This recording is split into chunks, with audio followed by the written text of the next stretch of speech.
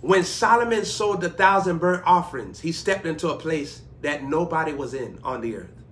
Nobody was where Solomon was. Nobody. How do we know that Solomon was somewhere that nobody was? Because Solomon was the richest man. So that means that he had the highest level of God's trust.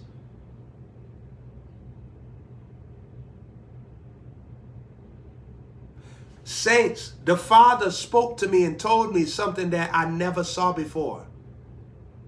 That God trusted Solomon more than any man on the earth to the degree he was having conversations with Solomon about plants and science. And he was having conversation with Solomon about sex. He was talking about the breast of a woman to Solomon. How are you having a conversation and talking about how a woman is naked and, and, and all these sexual things? God felt safe around Solomon. But the thousand dollar seed, he sold a thousand burnt offerings, and the Father elevates him to a place that nobody is at. The Lord had a conversation with me, and he said, Son, he told me this, and that's why I said it. Solomon didn't ask me for no wives. Solomon didn't ask me for no concubines. Solomon didn't ask me for riches. Solomon didn't ask me to be the wisest man. Solomon didn't ask me to build the uh, the house of the Lord for me, the gold house. Solomon didn't ask for none of that. If you go look in the Bible, Solomon never asked God to give him anything that God gave him. It was his sowing that released God into a gracious lifestyle manifestation for Solomon. And watch this God broke laws. Let me tell you something. I don't care who the word of God offends. I don't care. We must get back to the Bible. God bypassed all laws for Solomon because of the seed. That's why people can be working at a job for 30 years and you can work at the job for three days and the boss want to give you more favor than them. Because God is breaking laws. According to law, they should get the promotion. But according to grace, according to you yielding to the system of God, God will make the system move in your direction. Jesus told a parable that there was a marketplace and everybody came and worked at the marketplace. And at the end of everybody working, I'm paraphrasing for time. At the end of everybody working at the marketplace, they all got paid the same thing. What was Jesus doing? He said, The first shall be last, the last shall be first. How could someone just come and receive what you have been working for for years? They're listening to the Spirit. Solomon listened to the Spirit, did what the Spirit said. God gave him a life that if you looked at Solomon's life, you would persecute him. If anybody looked at Solomon's life, they would say he's out of order. If anybody looked at Solomon's life that was not in the Spirit, would say, this man is doing something that's never been done before. It wasn't so much Solomon, it was God. Isaiah 43 verse 19 said, Behold, I do a new thing. I, not, not man, behold, I do a new thing. I. A new thing means that this thing has not been done in Abraham. So don't tell me about Abraham when I'm doing it. Don't tell me about Sarai when I'm doing it. Don't tell me about Isaac. Don't tell me about Jacob. Because this new thing was not done in them. It is a new thing. New means that it has been spontaneously created at the spur of the moment according to the reward that God wants to give to one. You'll have to watch the replay to understand what I just said. Solomon unlocked the newness of life with the seed.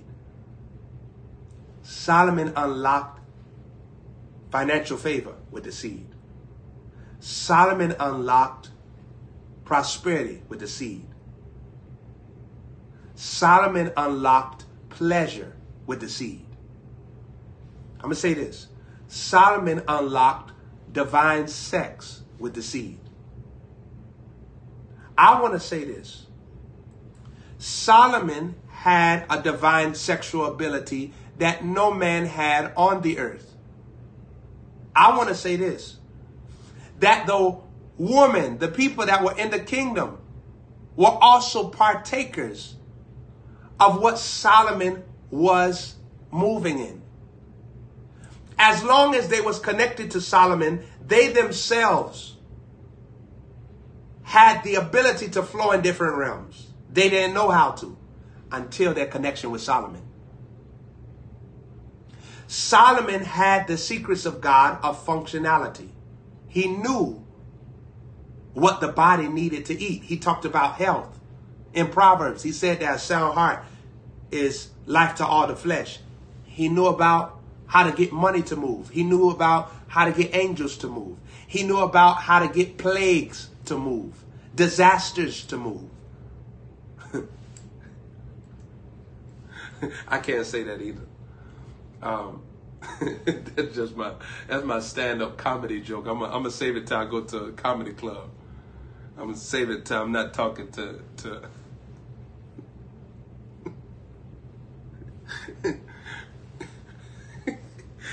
God is funny because because with all the movement and uh, let me get back to what I'm finishing about to say. Let me get back to what I'm finishing about to say. I'm about to close.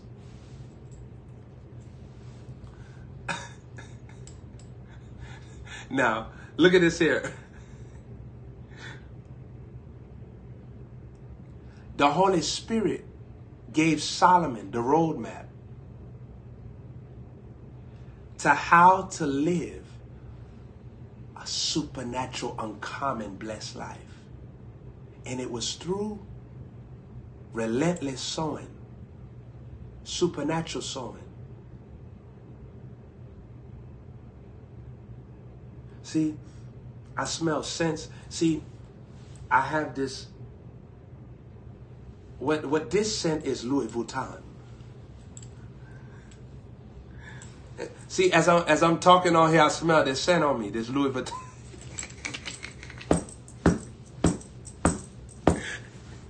baby, I'm, I'm, not, baby, I'm not mad if you mad. I'm not mad if you mad, baby. I'm gonna tell you what I'm. I'm, I'm gonna tell. I'm, I'm, I'm, I'm, smelling this Louis Vuitton on me. That's what I'm smelling. I'm not, I'm not worried about if you angry or not. Baby, baby, I ain't, baby, I ain't, I ain't worried if you mad I, I, I say I smell this Louis Vuitton on me. the cops try to arrest you. You tell us, hold on, cop, hold on. Hold on, let me, hold on. All right, here you go.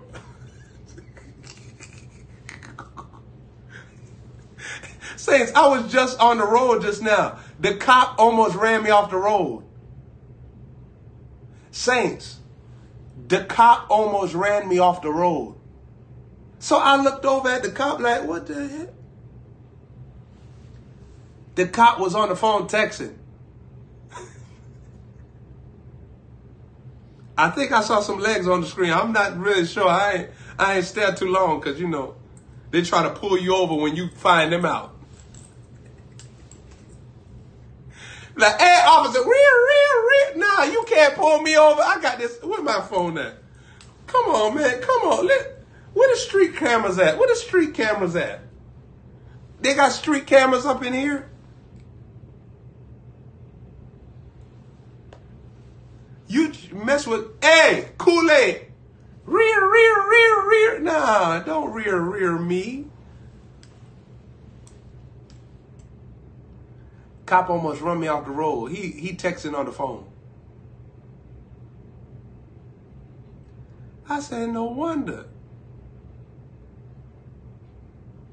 people be in house fires and dying burnt up. Cause they they they out here just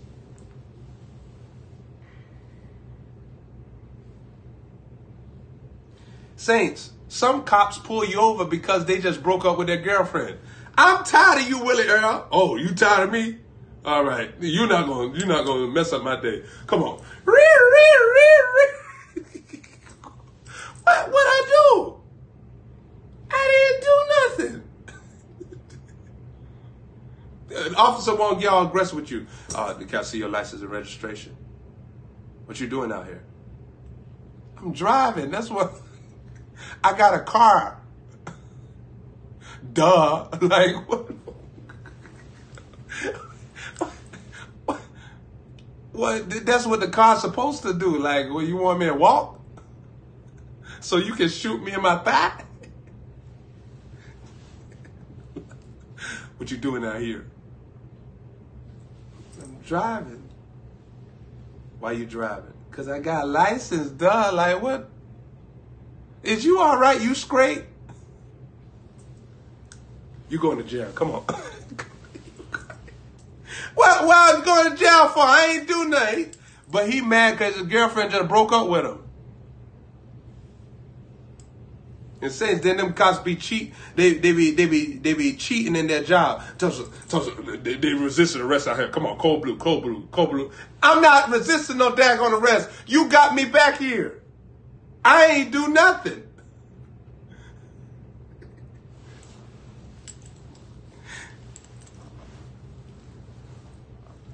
The Saints, when I saw the cop on, on the, and the cop, the cop was looking at me. Then the cop started following me. I guess he thought I was going to complain on him. So I turned my worship music up even louder. I play instrumentals. I, I, I really don't listen to people's songs nowadays. Not nothing wrong with songs. But I listen to instrumentals more. I listen to instrumentals these days. So I turn my instrumentals up real loud. Glory to God. Solomon unlocked this supernatural life with relentless sowing. Father, I receive relentless sowing on my life. I receive the ability to sow into you, to sow into my man of God this year. And Father, I receive every harvest that you have for me. Thank you. Thank you for every single thing that you do for me, day in and day out. I praise you, Lord. Everything that I did not recognize today, thank you, Father, for doing it. Everything that I did not recognize today. And Father, I thank you for a glorious day today. I thank you for a glorious day today. And I praise you for this year being crowned with your goodness, your abundance. I thank you today. Lord, I receive your daily benefits. I receive the load of benefits. Lord, thank you for keeping me alive. Thank you for keeping me in my sound mind. I praise you. I praise you. I praise you. I praise you. I praise you. Lord, I thank you for all of your goodness and mercy. And I thank you for feeding me and clothing me and taking good care of me. I praise you and I trust in you. And the best is yet to come with you. I look forward to our life together. In Jesus' name.